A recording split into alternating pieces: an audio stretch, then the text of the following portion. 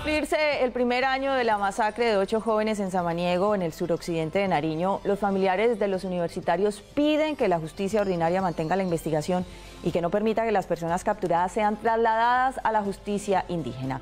Winston Viriacachapava informa.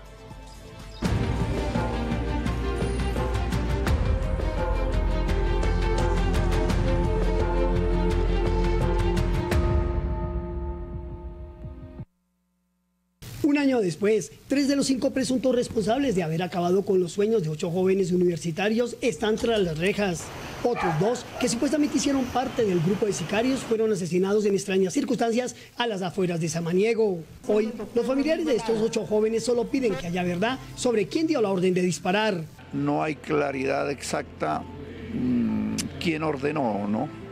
Pero pero parece ser que ellos buscaban otro tipo de personas ¿sí? que estaban involucradas en, en hechos, eh, una rendición de cuentas, como lo decían.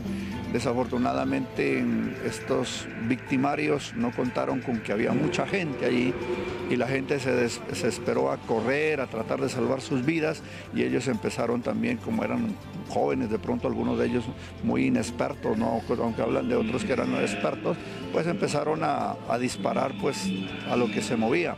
Aquí nada ha cambiado. En este municipio del suroccidente de Nariño, en donde los familiares de los ocho universitarios dicen que un año después no tienen ninguna respuesta por qué fueron masacrados sus seres queridos y sí les preocupa que las personas capturadas ahora alegan que deben ser juzgados por la comunidad indígena a la que según ellos pertenecen. Dos de los otros están ahorita en una cárcel de seguridad, de máxima seguridad en la ciudad de Popayán, pero insistentemente a través de su defensa están solicitando ser reubicados a, a, a ser retenidos en, en, sitios pues, que maneja la, la población indígena, los cabildos indígenas.